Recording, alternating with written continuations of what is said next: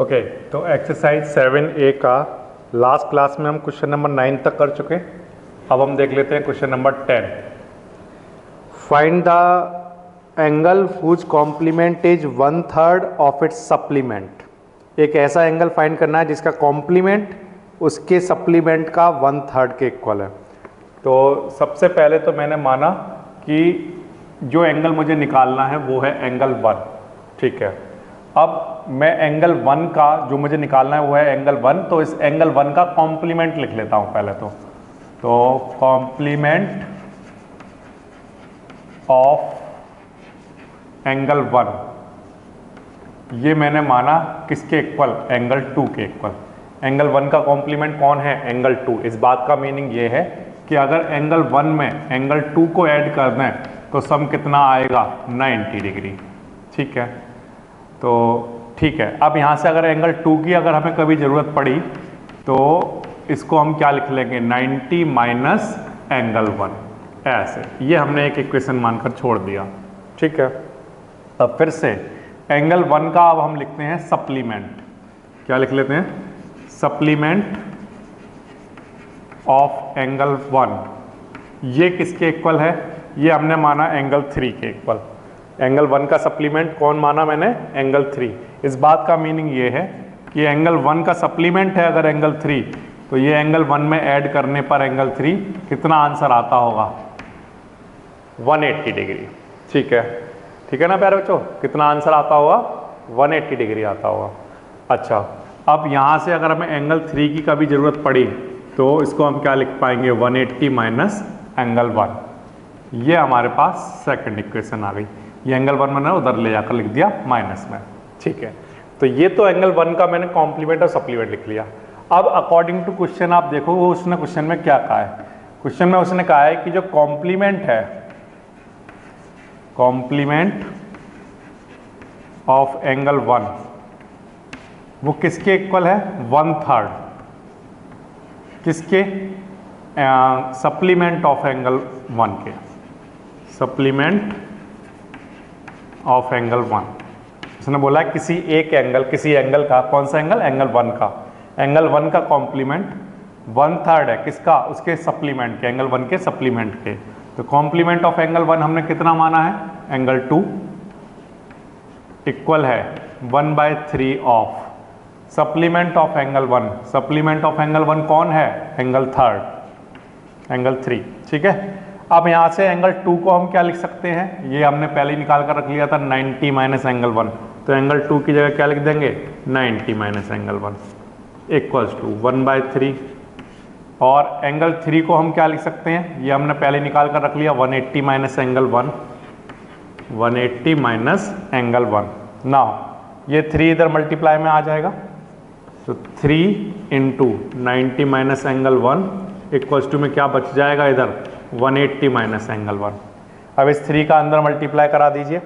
तो थ्री का मल्टीप्लाई 90 में कराएँगे तो ये कितना बनेगा? 270 ठीक है? और थ्री का मल्टीप्लाई एंगल वन में करा दो तो कितना आ जाएगा? थ्राइस ऑफ़ एंगल वन और ये सब किसके इक्वल चल रहा है? आ, ये सब इक्वल चल रहा है 180 माइनस एंगल वन के। 180 माइनस एंगल वन इसके इक्वल चल रहा है। ठीक है? अब क्या करोगे आप? ये 270 ऐसे ही लिखा रहने दो। 180 इधर लाकर माइनस करा दो। ठीक है? और ये थ्राइस ऑफ़ एंगल वन है, ये उधर ले जाओ। ये प्लस का हो जाएगा। थ्राइस ऑफ़ एंगल वन और पहले से वहाँ पर क्या चल रहा है? एंगल वन अब 270 में से 180 माइनस करा दो। कितना आ जाएगा? 90 ओके इक्वल्स टू और इधर थ्राइस ऑफ़ एंगल वन में से एक एंगल वन माइनस करोगे तो कितने बचेंगे? थ्री में से अगर एक माइनस हो जाएगा तो टू बचेंगे। Two of angle one twice of angle one ठीक है ना? अच्छा अब ये टू डिवाइड में लेकर आ जाओ। तो 90 डिवाइडेड बाय टू तो यहाँ से टू से डिवाइड कराओगे तो कितना आ जाएगा? 45 डिग्री ये हमारे पास किसका आंसर आ जाएगा? एंगल वन का, जो कि हमारा रिक्वायर्ड एंगल था। तो हमारा जो रिक्वायर्ड एंगल था वो हमने स्टार्टिंग में ही क्या कर लिया? लेट कर लिया कि लेट रिक्वायर्ड एंगल क्या है? एंगल वन अब एंगल वन का कॉम्प्लीमेंट लिखा मैंने मैंने मान लिया कितना? लेट कर लिया. Let complement of angle one is किसका कितना मान लिया? एंगल टू इस बात का मीनिंग ये हो गया कि अगर एंगल वन का कॉम्प्लीमेंट एंगल टू है तो एंगल वन और टू का सम कितना होगा? 90 डिग्री अब यहाँ से हमने क्या किया? एंगल वन उधर ले जाकर माइनस में लिख लिया.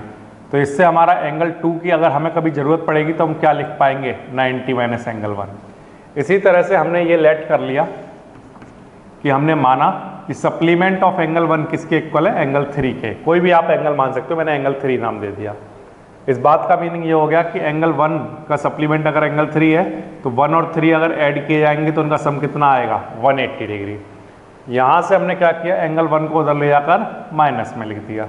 तो इससे एंगल थ्री की वैल्यू हमारी आ गई in the term of angle one कितनी आई? 180 एट्टी माइनस एंगल वन अब हम क्वेश्चन पर आ जाते हैं। क्वेश्चन में उसने कहा कि जो आपका रिक्वायर्ड एंगल है, उसका complement one by three times है किसके? रिक्वायर्ड एंगल के सप्लीमेंट के। ठीक है? तो कॉम्प्लीमेंट ऑफ़ एंगल वन हमने क्या माना था? एंगल टू वो हमने यहाँ लिख दिया।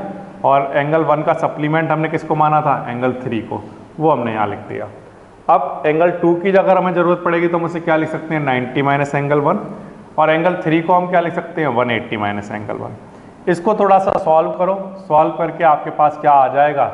एंगल वन जो कि आपका रिक्वायर्ड एंगल है। तो कितना आंसर आ जाएगा? 45 डिग्री ये बिल्कुल आसान है। ठीक है ना? अच्छा अब इसके बाद नेक्स्ट नेक्स्ट प्यारे बच्चों, हमारे पास है क्वेश्चन नंबर 11 देख लिए, ध्यान दीजिए। क्वेश्चन नंबर 11 क्या है? Two complementary angles are in the ratio four ratio five find the angle तो उनका रेशियो गिवन है हमें। दो एंगल्स का रेशियो कितना गिवन है? ये रेशियो हमारे पास है फोर रेशियो फाइव तो मैंने माना कि वो एंगल क्या रहे होंगे? Let the angles are what four x and five x ये मैंने अपनी तरफ़ से मान लिया कि एंगल क्या रहे होंगे? फोर एक्स रहे होंगे और फाइव एक्स रहे होंगे। ठीक है?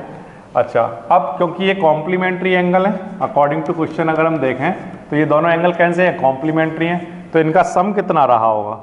तो आंसर है कि 4x और 5x क्योंकि ये कॉम्प्लीमेंट्री एंगल है, इसलिए इनका सम रहा होगा 90 डिग्री ओके अब 4x और 5x ऐड कराकर कितना बन जाएगा? 9x इक्वस टू क्या चल रहा है? 90 डिग्री।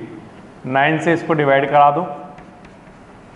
90 अपॉन 9 कितना आ जाएगा? 10 ये हमारे पास किसकी वैल्यू आई? x की वैल्यू आई।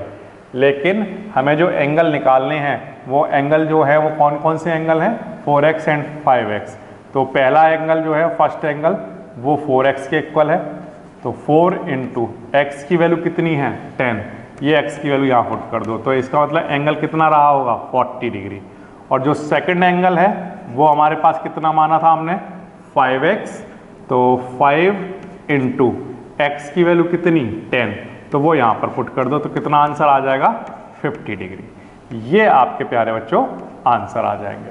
तो फिर से दो कॉम्प्लीमेंट्री एंगल हैं, उनका सम हमें गिवन है कितना? उनका रेशियो हमें गिवन है, कहना चाहिए कितना?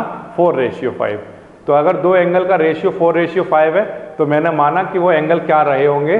Four x and five x ठीक है ना? अब क्योंकि वो कॉम्प्लीमेंट्री एंगल है, इसलिए उनका सम कितना होगा? उन दोनों एंगल का सम 90 डिग्री तो यहाँ से हमारे पास सॉल्व करके किसकी वैल्यू आ जाएगी? x की वैल्यू वो x की वैल्यू उठाकर आप यहाँ पर और यहाँ पर पुट करोगे तो आपके पास आंसर आ जाएँगे. तो ये बिल्कुल आसान वाला क्वेश्चन है. क्वेश्चन नंबर 11 इसके बाद नेक्स्ट क्वेश्चन नंबर 12 दिखा देता हूँ। क्वेश्चन में उसने बोला है find the value of x for which this angle and this angle are complementary angle दो एंगल हमारे पास गिवन है। एक तो एंगल वन इसको नाम दे देता हूँ, चलो। टू एक्स माइनस फाइव और दूसरा एक और एंगल गिवन है सेकंड एंगल वो हमें गिवन है एक्स माइनस टेन इस तरह से, ठीक है ना? इस तरह से आपके पास दो एंगल गिवन है। अब ये दोनों एंगल्स कैसे हैं? कॉम्प्लीमेंट्री एंगल तो एंगल वन और एंगल टू अगर ये कॉम्प्लीमेंट्री एंगल है तो आपको पता है इन दोनों का सम कितना होगा? 90 डिग्री ठीक है ना? इन दोनों का सम कितना होगा? 90 डिग्री तो एंगल वन की जगह आप पुट कर दो। क्या वैल्यू गिवन है उसकी? फ़र्स्ट एंगल हमारे पास two x minus five plus angle two की वैल्यू हमें कितनी गिवन है? X minus ten equal to कितना? 90 डिग्री अच्छा अब 2x और x मिलकर कितना हो जाएगा? 3x और माइनस फाइव और माइनस टेन मिलकर कितना हो जाएगा? माइनस फिफ्टीन इक्वल्स टू क्या? 90 ऐसा हो जाएगा। अच्छा अब ये जो माइनस फिफ्टीन आया है, ये उधर जाएगा तो प्लस का हो जाएगा। तो यहाँ पर लिख लीजिए 3x x equals to ninety plus fifteen okay इनको ऐड करा लीजिए।